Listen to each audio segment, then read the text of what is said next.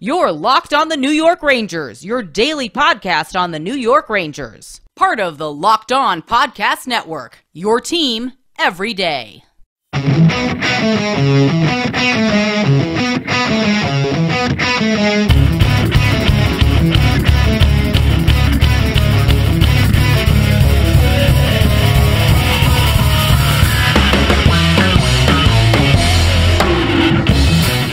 Welcome back, Blue Shirts fans, to episode number 558 of the Locked On New York Rangers podcast. I'm your host, John Chick.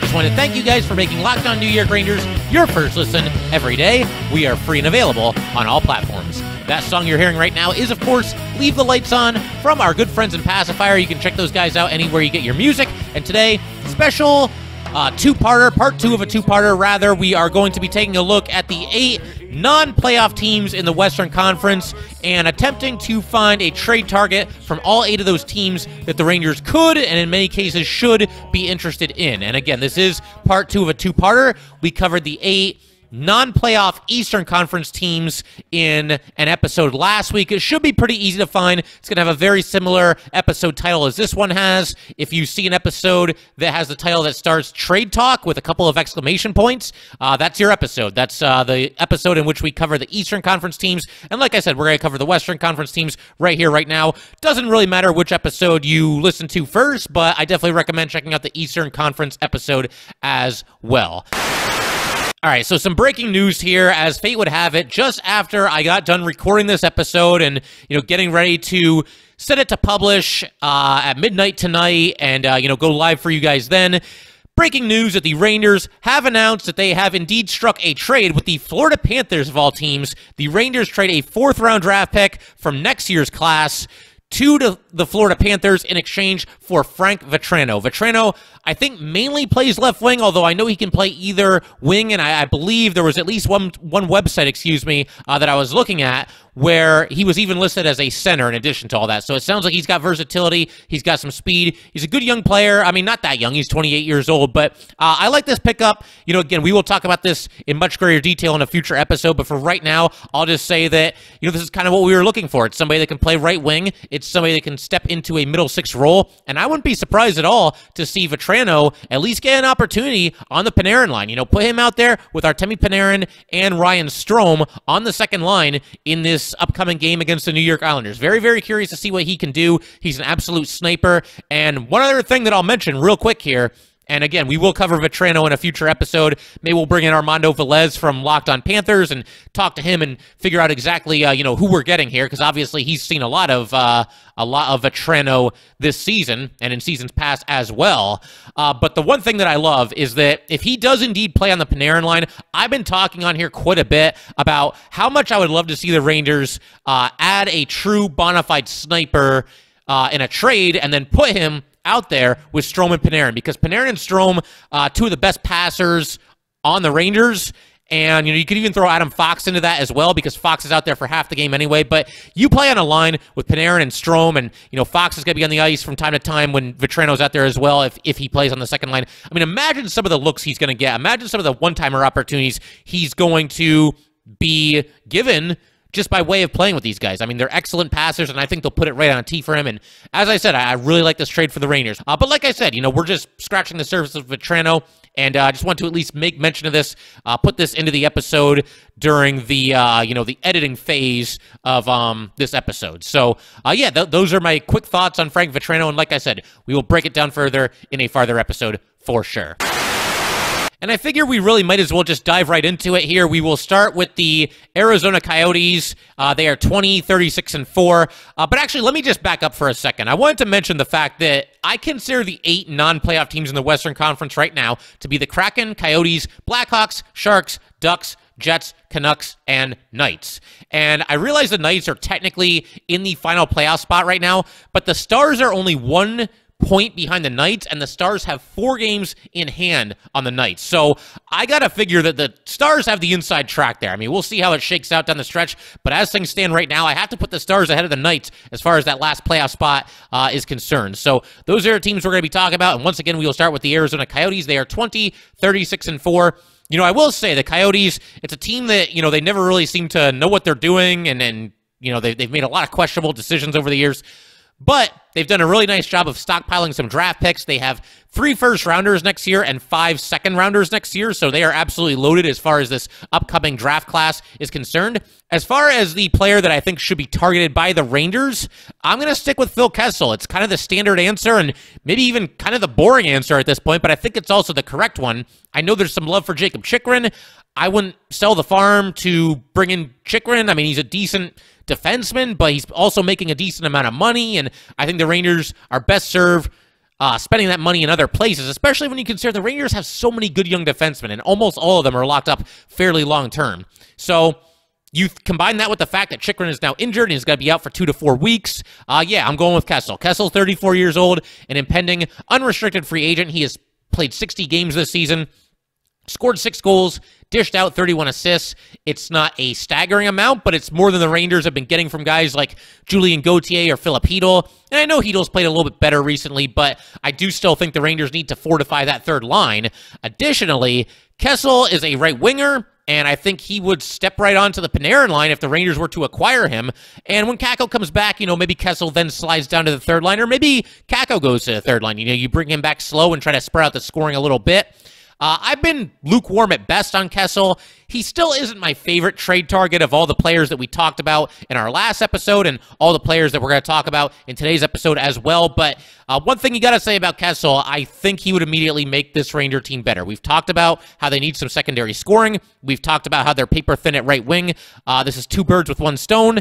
So I see no reason not to bring it in, bring him in. Excuse me. And on top of that, it sounds like the Coyotes I do remember seeing a report not that long ago that they would be willing to trade Phil Kessel in exchange for just a third round draft pick, and that's not that much. Now, the Rangers don't have a third rounder, so that complicates things, but maybe there's a situation where they can get by with a fourth rounder and then a third rounder from next year, something like that, something along those lines. You'd have to get tricky. Um, you know, I don't know if I'd want to give up a second rounder for Kessel, but you could do that and then, you know, maybe get a fourth rounder back in exchange along with Kessel from the Coyotes. I mean, there's options. There, there's a way to work this out. I think Kessel is certainly going to be traded before the deadline. And, uh, you know, again, I, I just think he would uh, be a pretty solid fit for the Rangers. I think he, again, gives you another option at right wing and gives you some depth scoring, which is something that the Rangers certainly need. And uh, we are going to continue talking about, you know, all these non playoff teams uh, one by one here, just go through the whole list and uh, share some trade targets with you guys. We will be doing that in just a second. But first, I just want to let everybody know that today's episode of Locked On New York Rangers is brought to you by betonline.net. It's that time of year again, as college basketball's tournament is finally upon us. From all the latest odds, contests, and player props, BetOnline.net is the number one source for all your sports betting needs and info. BetOnline remains the best spot for all your sports scores, podcasts, and news this season. And it's not just basketball. BetOnline is your continued source for all your sporting wagering information needs, including live betting and your favorite Vegas casino games. Head to the website today or use your mobile device to learn more about the trends and action. Bet online, where the game starts. All right, just want to thank you guys for making Locked On New York Rangers your first listen every day. We are free and available on all platforms. On Monday, March 21st at 3:30 p.m. Eastern Time, tune in to Locked On Fantasy Hockey's live deadline reaction show to get all the on-ice fantasy and betting analysis you need from host Steele Rodine and Flip Livingston, with appearances from our roster of local team experts. All right, let's go ahead and move on to the Chicago Blackhawks. Uh, a lot of names here that could be on the move. Uh, one of them, and I'm just going to get this out of the way right off the bat here, is Patrick Kane. Now, I've heard certain whispers every now and then that maybe the Rangers would be in play for Patrick Kane. I'll believe it when I see it. I just don't think that the Rangers would match that asking price that the Blackhawks are likely to have. And, you know, Kane is not in a walk year or anything like that, so it's not like they have to trade him. He's won three Stanley Cups there. Uh, he's got a full no move clause on top of everything that I just mentioned. And I also will say this about Patrick Kane: the Rangers in recent seasons have really placed an emphasis on having character players in the locker room. And without getting into too much detail here, we don't really have time to get into too much detail, but I don't think Patrick Kane really fits that description. It is tempting. Uh, he's obviously an unbelievable talent and talk about playoff battle tested, but it goes against the manner in which the Rangers have built this team. A reunion with Artemi Panarin does sound like fun, but I just don't see the Rangers doing this uh, for the character concerns, but even more so the enormous asking price that the Blackhawks would undoubtedly have for you know a future Hall of Famer here. But in addition to Patrick Kane, I mean, there's names like Dylan Strome, Brandon Hagel, uh, Calvin DeHaan, Marc Andre Fleury. All these guys could very well be on the move. I'm going to go a little bit against the grain here. And, you know, in our last episode where we covered the Eastern Conference teams, we didn't have any goalies. Spoiler, this is going to be the only goalie that I include on today's list. Um, you know, Calvin DeHaan is somebody that would be tempting as like a depth defenseman. I get that, but I'm going to go with Marc Andre Fleury. And I don't know how realistic this is, but when you consider the fact that, you know, the Rangers, they're always rumored, this has been going on for like a year and a half at least. They're always rumored to possibly be looking to trade Alex Georgiev. And I think it very well could happen before uh, this Monday's deadline. If it does happen, you know, the Rangers could roll with Keith Kinkaid as their backup. But, you know, with Igor Shesterkin having had a lot of, not a lot, but at least a decent amount of injuries since coming into the league, what better way to fortify your backup goalie situation than to bring in Marc Andre Fleury, a multiple time Stanley Cup champion and somebody that has been a goalie for two different teams in the Stanley Cup finals? That, of course, being the Penguins and the Knights. Now, the one thing that I think prevents this from happening is that the Rangers are probably not going to offer a whole lot for Marc Andre Fleury when they've got Igor Shesterkin. I mean, I think that is pretty much obvious. And I think there are teams out there that if they were looking to trade for Marc Andre Fleury, they would want to bring him in as their starting goalie for the playoffs. I'm talking about teams like, you know, certainly the Edmonton Oilers spring to mind, uh, maybe the Leafs, maybe the Capitals. I mean, I would have to look at all their goaltender uh, stats to know for sure, but you got to figure that teams looking to bring in Fleury as a starting goalie for the playoffs are certainly going to be willing to offer more than the Rangers would be to bring him in as a backup. But again, you know, I want to include at least one goalie on this list. And uh, you know, we got to go off the wall at least a little bit. It's very easy to just, you know, go with the uh, the names that you hear over and over again, like Phil Kessel, who we just talked about. Um, but wanted to shake it up at least a little bit. Marc Andre Fleury, I would love him as some Igor Shesterkin insurance uh, come playoff time. How likely is this to happen? Not very, but again, wanted to at least throw it out there. And uh, I just don't see the Rangers making a play for Kane. Uh, I really, really don't, for all the reasons that we just discussed. Uh, moving right along here, though, we're going to cover the Winnipeg Jets. Uh, this one was pretty easy. I'm going to go big for this one. I'm going Mark Scheifele, and there's a lot to unpack here. I mean, for starters, we have no idea if the Jets would even consider trading him. Scheifele is under contract for the next two seasons after this season uh, at $6.125 million a pop. So the Jets certainly don't need to trade him, and if they do trade him, they have every right to ask for a pretty enormous return. And as I just alluded to, this would not be a rental player for the New York Rangers. They'd be taking on his contract. And bringing in Mark Scheifele would leave them really, really tight against the salary cap. And something else that it would do, it would certainly spell the end of Ryan Strome's time as a New York Ranger. Because if Scheifele's under contract next season, there's no way they're re-signing Ryan Strome. I don't think the Rangers would trade Strome, even if they did bring in Mark Scheifele, but they would absolutely let him walk in free agency after the season. But again, this is one of the few non-rental players where and really just the few players in the league as far as potential trade targets where if I'm the Ranger GM, I would actually, you know, kind of back up the truck in Winnipeg and basically just say, what do you need? I mean, Mark Scheifele is a heck of a player, and obviously you got to keep it within reason. But again, if you're going to pick up a player of this caliber who is under contract for a very reasonable price for the next two seasons, then it's going to take a lot to make a trade like this happen.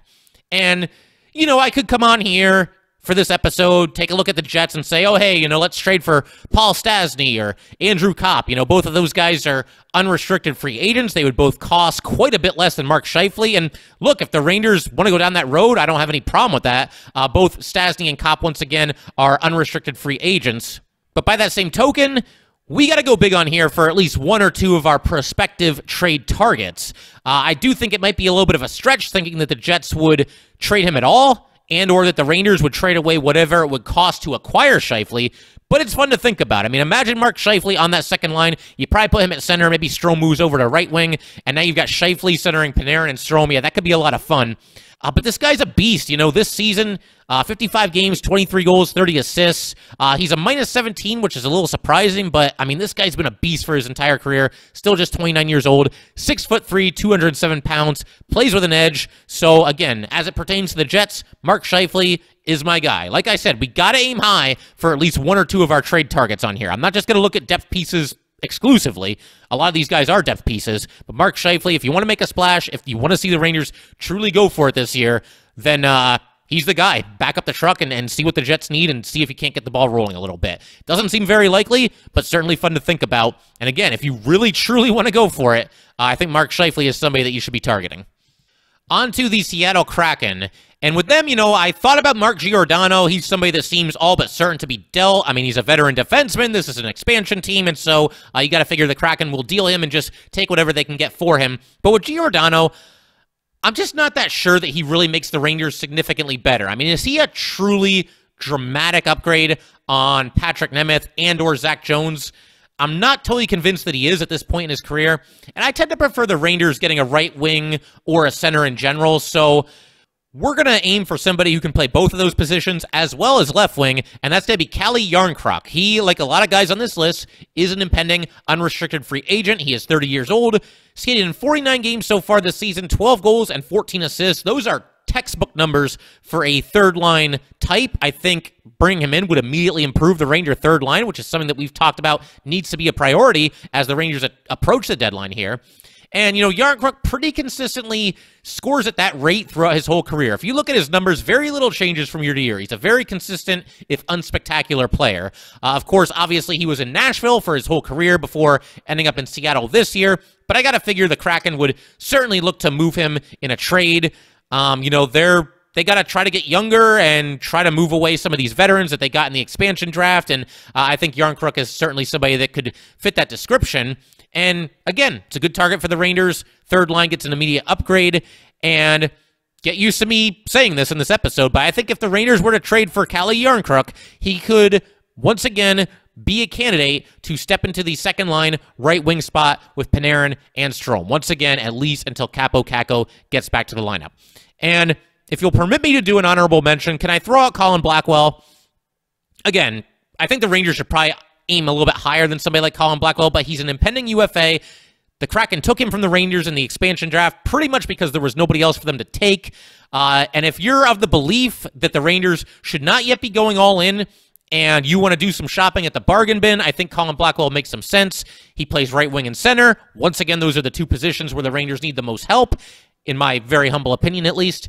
And if they picked him up, you know, he might once again step into that second line right wing spot. He played with Panarin and Strome a little bit uh, the season that he was here. And with Blackwell, there could be a wide range of outcomes. He could end up on the third line. He could even be a healthy scratch on certain nights. Uh, but I want to at least toss out the idea of a reunion. Again, I think the Rangers should aim a little bit higher. But if they get outbid on the big time trade targets and they just want to pick up somebody who will cost very little, I mean, Colin Blackwell might be uh, worth at least some consideration there.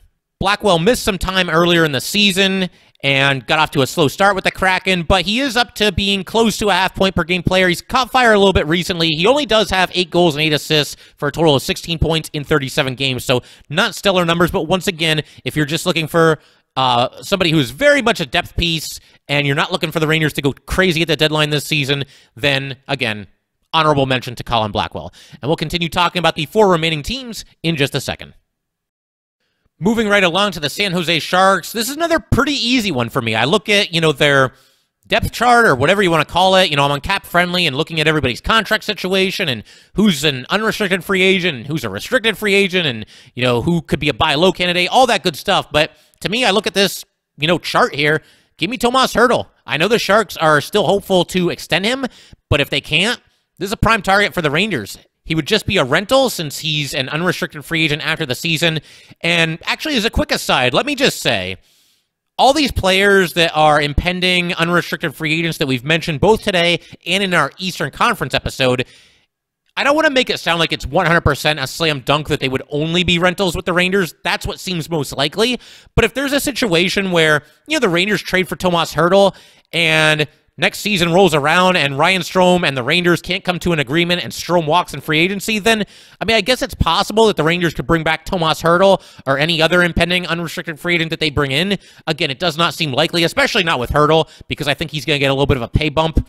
Um, but you know, it's at least possible that one of these rentals turns out to be somebody who stays with the Rangers longer than we're anticipating. I don't think it would happen with Hertl. Even getting Hertl in general is going to be tough because there's going to be a lot of teams bidding for his services, including the Sharks, who would like to uh, hang on to him. Uh, but, you know, Hertl, if the Rangers were to acquire him, somebody who would fit like a glove in a middle six role. He can beef up the second power play unit as well, which, I mean, the Rangers' second power play, I don't think they've scored more than three or four goals all season, so he could help there. Uh, he can play center and left wing. I'm not sure if he plays right wing all that often. He could probably handle it in a pinch. Uh, but, you know, you could have a second line of Hertl centering Panarin on the left and Ryan Strome on the right. And Hertl's a really good faceoff guy. And if you guys have listened to this podcast for any amount of time, you know that I'm big on faceoffs, especially come playoff time. And uh, Hertl, for the past three seasons, has a success rate of 54% or better in the faceoff circle. And for his career, he's sitting at 53.1%. So those are obviously uh, solid numbers on the dot. And, uh, you know, just a good all around game. Good all around two way forward, and somebody that I would welcome with open arms to the Rangers. Uh, we'll see if they can pull it off. Like I said, he will have no shortage of suitors, but this is somebody that would obviously give the Rangers a big boost come playoff time on to the Anaheim Ducks. And I hope you guys were doing some scouting the other night because, you know, this is a team that certainly looks like it will be full fledged sellers. I think they pretty much uh, made that official when they traded Manson to the Avalanche. So again, certainly looking like they are open for business and looking to be sellers. Uh, Ducks are in kind of a weird spot because I feel like they haven't really gone full fledged rebuild quite yet. There are some exciting young players like Zegras and Terry, but then you've got a good amount of vets, and you know they've got nine impending unrestricted free agents. So uh, maybe this will be the trade deadline that really kicks off their rebuild. They'll just trade these guys left and right. But there are two names that really stand out for me when it comes to the Ducks, and we talked about both of them uh, with JD Hernandez, the host of Locked On Ducks, with whom we did a crossover episode. And those two players, for me at least, looking at the Ducks roster, Rickard Rakell and Hampus Lindholm. Both are impending unrestricted free agents. I've talked about how the Rangers' top priority should probably be right wing and then center and then defensive. But with that said, gonna go a little bit against the grain here and implore the Rangers to, you know, if they're going to make a deal with the Ducks, go after Hampus Lindholm. This guy is a rock solid defenseman, and I do think he's enough of an upgrade on Patrik Nemeth to make this deal worth it. I've been saying all along that I am not interested on a slight marginal upgrade on Patrik Nemeth because what's the point? Why even trade away draft picks and or prospects just to get slightly, slightly better at your sixth defenseman spot, especially when Zac Jones is still there. He's an option to take over Nemeth outright, and he's already in house. Uh, so I wouldn't be a fan of the Rangers, you know, doing a lot to just, or giving away a lot rather, to just bring in somebody that is a slight upgrade on Nemeth. But Lindholm is really good. And if the Rangers can have Lindholm and potentially even trade Patrik Nemeth to Anaheim as part of the trade in a way to dump his salary, I'm all for it. That might be easier said than done because I just don't know how much interest a team like Anaheim would have in somebody like Patrik Nemeth. They're sort of kind of rebuilding over there. So if they were to take on Nemeth in a trade with the Rangers, they might immediately look to flip him somewhere else or flip him in the offseason. That's certainly possible. Uh, but again, getting back to Lindholm here, there's a top pair quality defenseman who on the Rangers would probably be on the third pairing. I mean, maybe you could put him on the second pairing with Trouba and, and drop Miller down to the third pairing. But you guys have seen K'Andre Miller recently. He's been awesome. So uh, you could have a once again, top pair quality defenseman playing on your third pairing. That's quite the luxury for the Rangers. Uh, Lindholm has spent his whole career with the Ducks. 61 games this season, 5 goals, 17 assists. He is an even plus minus. He's been averaging 22 minutes and 32 seconds of time on the ice. 6 foot 4, 216 pounds, so that bodes well for playoff hockey as well. The Ducks apparently would like to re sign him, but that has not happened yet. And if it doesn't happen, then he's my top choice from the Ducks. And maybe Rickard Rakell might be a little bit more realistic because he's kind of a third line type player. And that's kind of what the Rangers need. But I wanted to mix in at least one or two defensemen on today's list. And I just really like Lindholm. So he's my pick. And we'll move right along to the Canucks here. For the Canucks, I really hate to say this, but I don't think that we're going to get our reunion with JT Miller. And there might be some Ranger fans who are happy about that. They just don't think that he'd be worth, uh, you know, whatever the Rangers would have to give up to get him. Uh, Miller does have another year on his contract after this season. The Canucks have six impending unrestricted free agents. They can deal any of those. And for both of those reasons, they really don't have to trade JT Miller. And on top of that, they're still somewhat in the playoff chase. And even if they don't make it this year, they probably feel that they can be a playoff team as soon as next season. Miller would still be there. And, uh, you know, who knows? Maybe the Canucks themselves are hoping to do uh, a long term deal of some kind with JT Miller before he's an unrestricted free agent once again after next season. With all that said, I'm still going to say JT Miller is the guy if the Rangers end up doing a deal with Vancouver, partially because there just isn't really that much else there as far as uh, realistic trade candidates and or players that you would actually want the Rangers to get. I mean, there's some UFAs. I mean, Tyler Motte, okay, Alex Chiasson, uh, Nicolas Petan and Brad Hunt. I mean, are any of these guys better than any of the guys that are currently on the Rangers? With JT Miller, you know, a reunion is always fun. He's been an outstanding player over the past three seasons here. You would be getting someone who's been a point per game player during that time or right on the uh, precipice of being a point per game player. Uh, plays a very physical game as well, not afraid to go to the dirty parts of the rink. I think he would be an excellent fit on the second line right wing spot with Panarin and Strome. Like I said, I was going to be saying that a lot today, but that's the kind of player that I think the Rangers should target. Somebody who could either play there or, once again, fortify the third line. And I think the Ranger fans would welcome him back, and I think they'd be very excited for that. But if they do go down that road, then I think Miller is certainly someone to target again, I just don't think the Rangers are going to meet the astronomical asking price that the Canucks seem to have for JT Miller. I don't even think Miller gets traded, period. Uh, but there isn't really anyone else on this roster that looks like a good fit as far as the Canucks are concerned. So we will once again aim high and go with JT Miller as it pertains to the Canucks. He's my top target. Uh, once again, his arrival could very well spell the end of Ryan Strome's time with the Rangers since Miller is under contract for next season. But, you know, as we talk about this, some of that's on Strome because it sounds like the Rangers and Strome have been negotiating on and off all season, and uh, you know they've been talking about the potential of a new deal, but there still is not a new deal. So Strome can fix all of that if he really wants to be a Ranger badly enough, simply by signing the dotted line.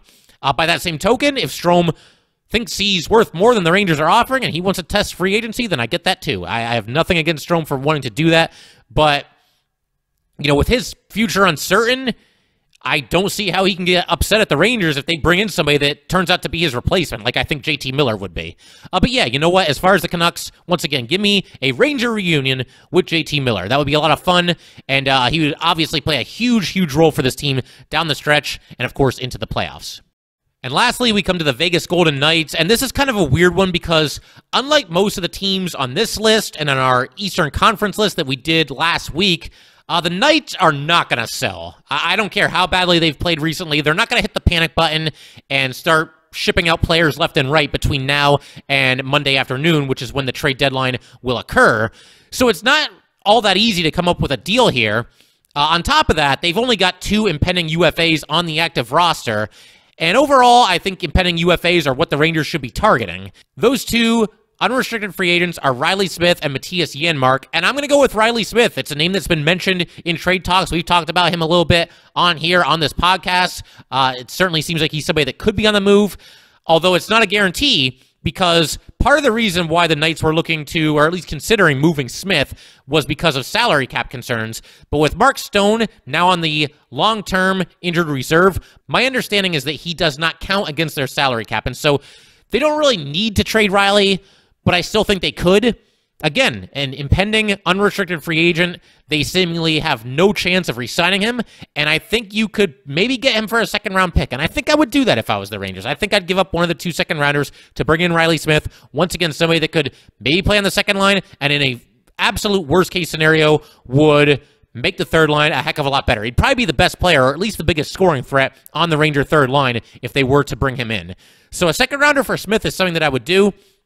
And again, he checks a couple of boxes here. Primarily a right winger, which is where the Rangers need the most help, and he gives you some secondary scoring. Solid season so far for Smith. He's got 16 goals and 22 assists for a total of 38 points in 56 games. Again, it's not a stellar amount, but that is like textbook third line secondary scoring, which again, that's my biggest priority if I'm the GM of the New York Rangers. So uh, that'll pretty much do it for today. I gotta say, we aim pretty high. I, I, set the bar pretty high as far as some of these trade targets are concerned. Some big names on this list. I think I was a little bit conservative with the Eastern Conference, but I'm very much looking forward to seeing what the Rangers are going to do. You could make a case for a lot of different players, a lot of different approaches, and uh, I'm just ready to sit back and watch the madness. I'm a little nervous, like a lot of Ranger fans, I'm sure certainly are, but I think Drury mostly knows what he's doing. Most obviously has made good moves since he's been the Ranger GM, and I think this will be more of the same, uh, you know, leading into the trade deadline here.